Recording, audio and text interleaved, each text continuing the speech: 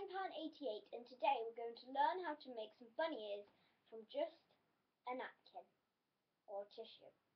First of all, you need to flatten your napkin or tissue onto a flat surface. Sorry, this is just a cardboard box, it's my desk.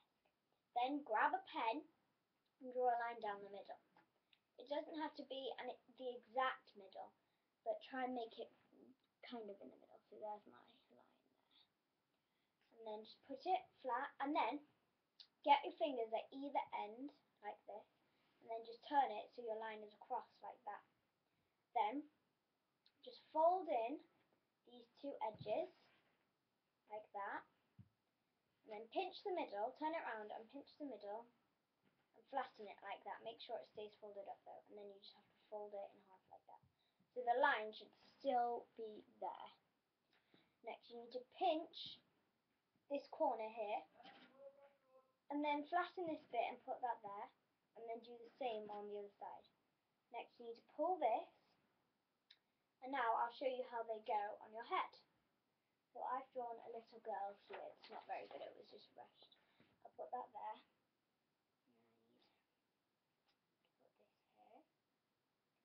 Just tape this. You don't have to tape it down, it's just so I there. And your line is still down the middle. See? Okay. Let me just grab some more tape. So I can show you. Okay, cut that in half. Just two bits as well. Okay. And then there are your ears. If you want, you can paint your tissue before so they look like a cat or something. I'll just go over this so you can see them.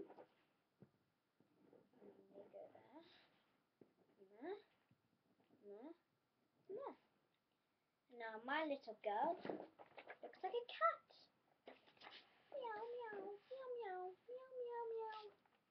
If you want, you can try with quite a big napkin so they fit your head perfectly. Okay? So watch my next video, please. Subscribe. Um, okay? Bye.